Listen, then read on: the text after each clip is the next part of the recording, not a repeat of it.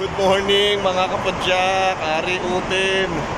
Pasensya na kayo, medyo natagalan yung ah, mga video natin. Papaano kasi, ah, nawalan ako ng trabaho. Kaya medyo wala tayong budget. Tapos medyo malamig nung winter. Kaya kumbaga nagpahinga muna ako kaysa naman sa magkasakit tayo, di ba? Anyway, Andito tayo sa ano, sa Pasadena. Ito yung parang parking structure ng train station. Ah, dito natin iiwanan yung bisikleta natin at saka yung kotse, ay ko, bisikleta, yung kotse natin. Tapos ah magbabike tayo papuntang Rosemead. Um, iniisip ko mag ano na lang muna eh, mag ah, chicken sandwich. Medyo nagke-crave ako ngayong linggo ng chicken sandwich. So, samahan niyo ako.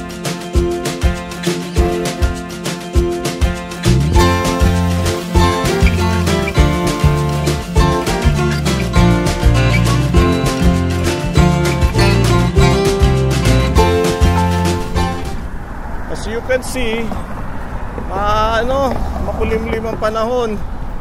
Maulap. Pero masarap ang panahon, malamig.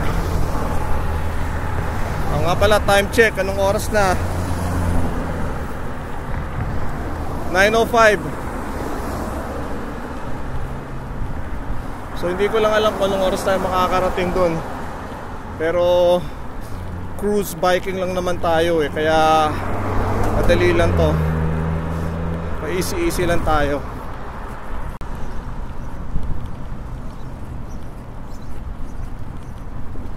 Alam nyo pala kailangan ko talagang mag ano, magpadyak na magpadyak ulit.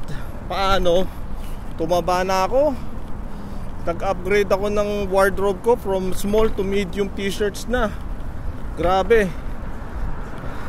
Nasabi ko nga sa mga tropa ko, I have officially admitted and accepted that I have grown fat. Ay nako. Kaya yun.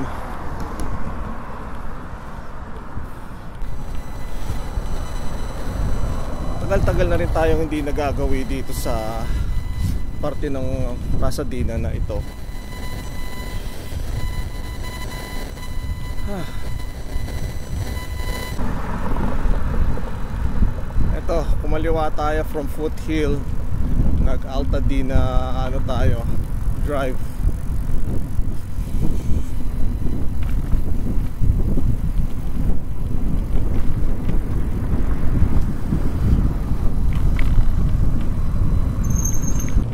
Ito, kumanan tayo sa may Colorado Boulevard. Tesla Certified Collision Center. Ayos oh.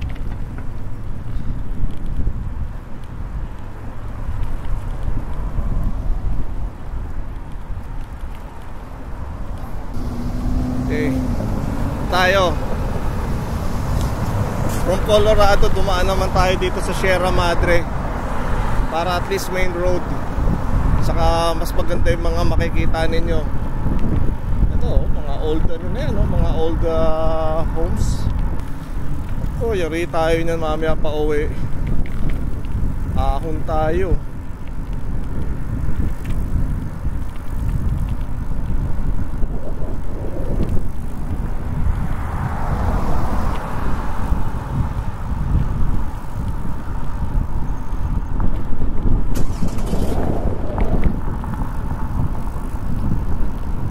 Yari tayo nito pa uwi Ahon Hindi naman matarik Pero ano talaga kung tutusin Weakness ko talaga yung ano eh. Yung mga paahon eh. Pero okay lang para lumakas. Ano Tunaw taba. Ganda pala rito Hindi pa ako nagagawi gaano rito eh. Lalaki ng mga lote ng mga tao At saka mga parang mga old home. Mga mayayaman yan. Mga ano yan eh almost ano masasabi mo na na old money rich. Then again itong area to mga ano to eh mga Asian eh. So mga new ano new money rich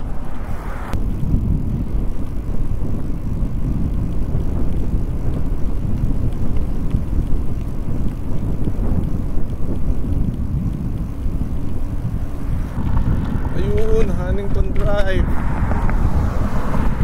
Pagka kumaliwa tayo dyan, dire-diretso yan sa ano, sa papuntang ano na yun, Azusa. Actually, Sierra Madre, papunta rin ng Azusa. Pero ito nga nitong drive, nga ano talaga, nagka-cut through sa ano, sa Azusa.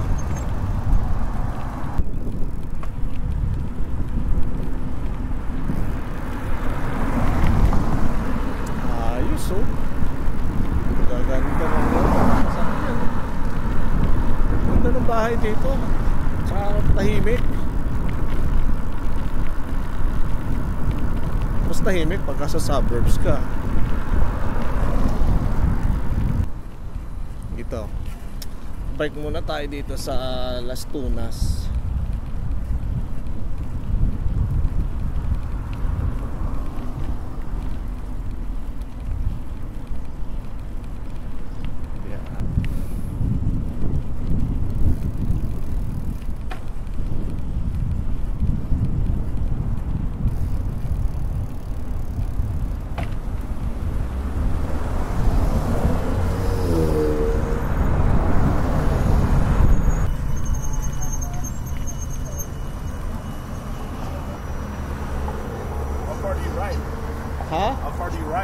I started from uh, Sierra Madre Villa. Wow. Station. how far are you headed? Uh, like uh, one more mile and then head back up Okay. again. So what's that about eight miles? Yeah. Yeah, I used to do that way back in the days. Uh, you know where the You uh, need to get back then. I gotta go back. I gotta go. I used to road bike. Oh, I used to okay. road bike for years. Okay. It's been about eight years I haven't been on it, but obviously I'm going to go back. Okay. Uh, I used to go from Santa Fe Dam uh, all the way down to Seal Beach and back. Dang. I would do it with the group. It's not. It's not easy. It was a whole day. Eight hours or something? Easy eight hours. Okay. Easy. It'll take about four. It was hard coming back up because of the wind. Yeah. And we're coming upward. Have a safe Okay. drive. Thank God you. Thank you.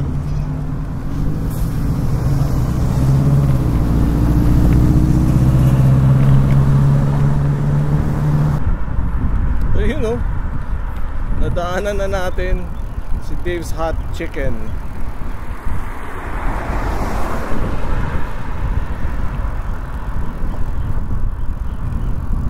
Flavors of India.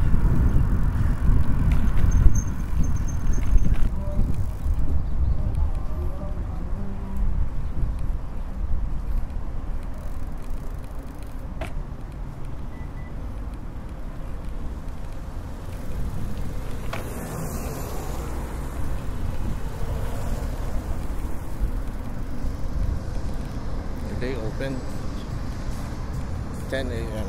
Oras na.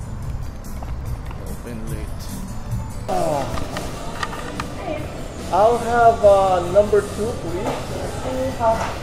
Uh, let's do sliders. Can I get one medium and one mild? Or okay. You doing cheese on this? Uh, no, but does that come with a drink already? It doesn't. Do you want to add a drink? Sure. Let's make it a meal. And then, um, is that gonna be all for you today? Yeah, that's it. For dining or to go? Uh, dine in, please. It's gonna be 1783, and it'll have a make a selection right here. And that screen turns white, go ahead and insert or tap.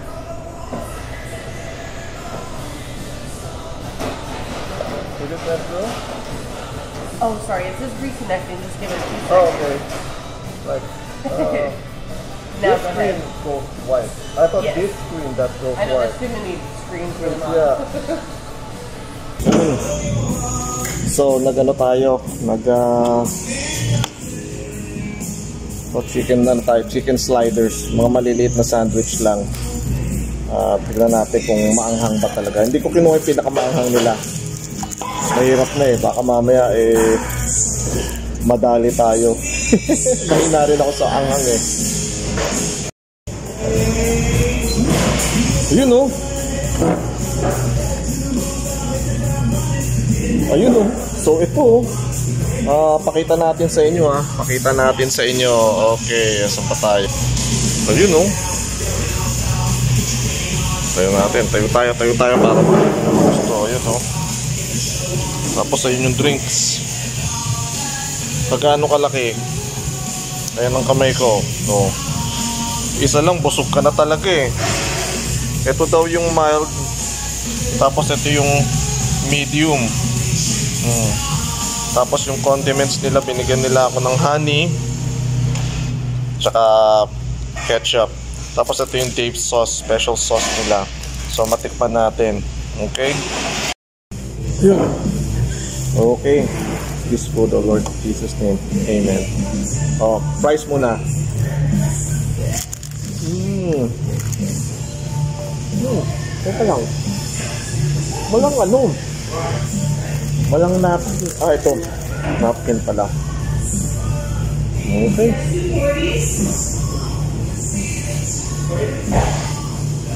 Malalaman mo mamantika talaga. Ayan oh. May grasa na... Ay, dirty finger ako. Ayan oh, may grasa na kaagad yung ano oh. Dito pa lang yun oh. Ayos. Okay. Mild, mild, mild, mild. Mild, okay? Mm.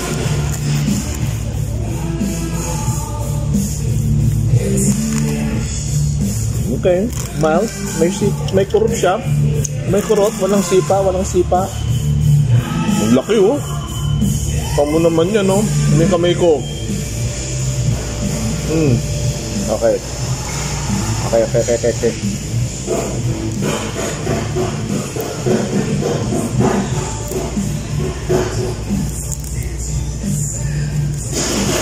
Panalo yung sauce. Panalo yung Dave sauce. Ang laki. Ang laki ng serving. Kalahati yata ng breast yung binigay kayo. Price.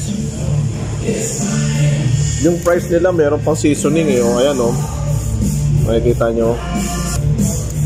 May tanong ako sa inyo. Kayo bang, kayo ba sanay na kayo or sa tingin nyo mabubusog kayo kung sandwich lang ang kakainin nyo sa tanghalian? Paki-comment na lang.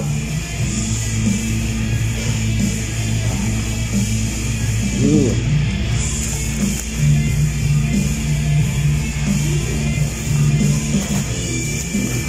Tanungin nyo magkano lahat to. Um, nasa $16, $17. Sabi nila masarap daw pagkahanin. Tingnan natin, tingnan natin.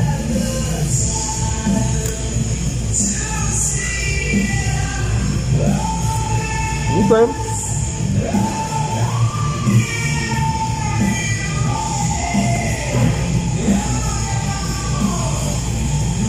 Okay. Hmm.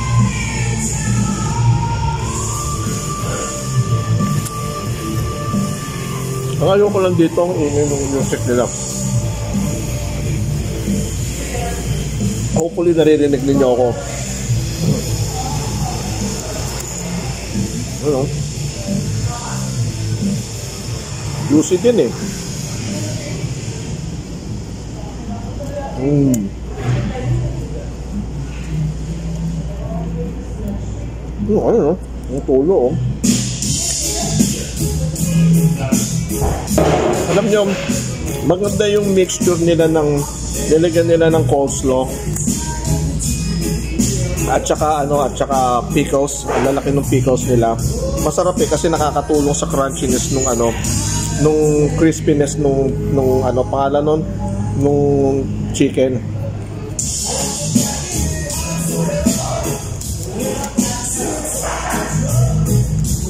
At saka kasi di ba fried siya, meron siyang lasa nung ano nung mantika, sa mantika. Kaya nakakatulong yung ano, yung yung coleslaw.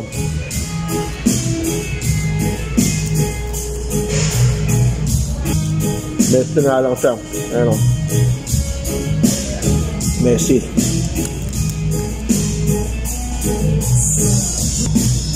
Kailangan bilisan mo kainin dahil malambot lang yung tinapay.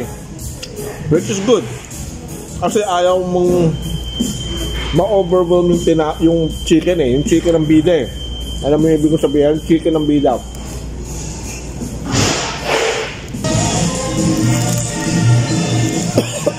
okay.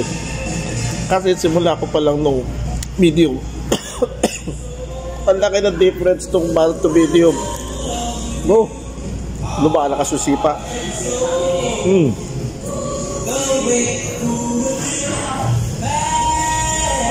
Hindi nakikipaglaro yung medium nila. Buti na lang medium ang kinuha ko. Pero inyo kung hindi, nako. Ah. Uh, panghang na. Mm. Mm. Malaki na itutulong ng coleslaw to cut through dun sa ano sa anghang. Pero lang. Medium. Ang laki ng difference. Ibig sabihin, mas, ma- mas malalakas pa yung incremental nung ano, anghang nila. Masarap yung tinapay nila, malambot, oh. Ewan ko kung anong klase ng tinapay ito, pero malambot siya.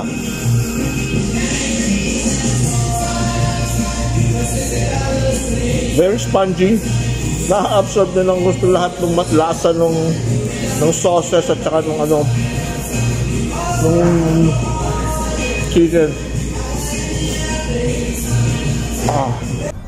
So yun, natatapos lang natin. So, I'll give it a 4 out of 5 stars. Dahil malalaki yung servings nila eh. Tapos uh, masarap naman, they delivered on the promise na masarap yung chicken talaga. Huh, busog nga ako eh. Uwi mo.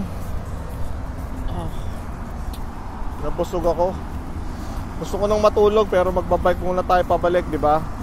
So ito, dire-diretso lang to. Rosemead Boulevard. Ah. So, paano dyan mga kapudyak? Hanggang dito na lang muna tayo. Hopefully nagustuhan ninyo yung mga napuntahan natin at saka yung kinain natin. Ah, please, uh, as usual, huwag niyong kakalimutang mag-like, mag-subscribe, mag-comment, at saka mag-report. So, sa susunod na lang ulit. Thank you!